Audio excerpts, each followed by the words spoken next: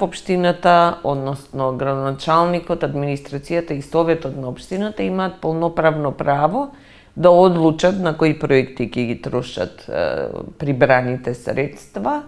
односно дали тоа ќе биде изградба на улици, поправка на улици, водоснабдителни системи, одводни системи, улично осветлување,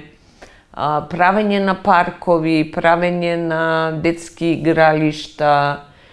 грижа за животна средина и многу слични работи кои што се основна функција на општината.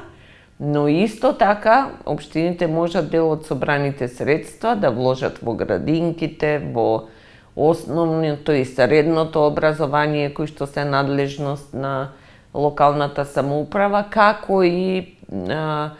културни институции во општините во кои што ги имаат. Исто така социјалната грижа во многу мал дел бидејќи не е децентрализирана, но се она што е потреба на граѓаните може да биде може да биде вложено за тоа дел од средствата од данокот на имот.